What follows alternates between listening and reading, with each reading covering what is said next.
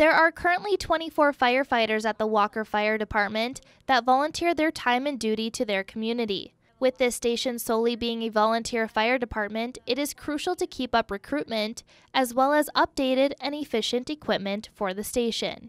Over the years, the firefighting equipment we use has changed tremendously. Trucks, trucks is a huge thing. Um, you don't go to a, a, truck dealership and buy a truck. It doesn't work that way. Um, we did just purchase a new truck to my right here, we'll talk about.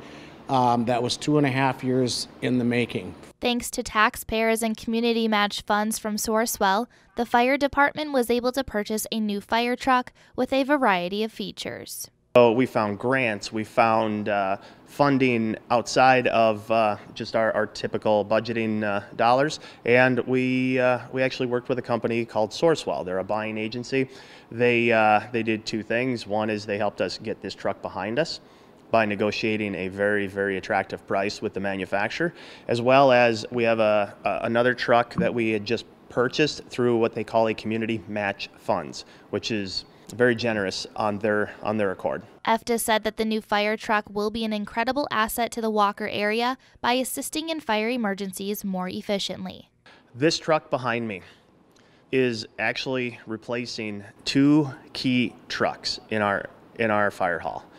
The reason for it is with technology, with the equipment on board, we can actually do more with less, even though it looks like a big red truck. This truck single-handedly, on the left side of the truck, we fight fires with it. On the right side, it's typically called left the fire, right the scene.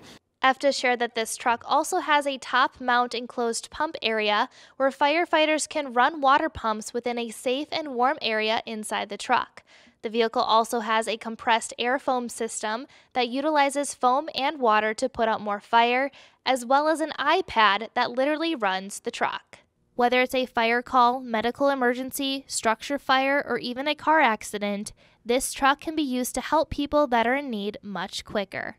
Reporting in Walker, Emma Hudziak, Lakeland News. The Walker Fire Department is currently working on upgrading other assets to their station in order to provide up-to-date equipment and vehicles for firefighters.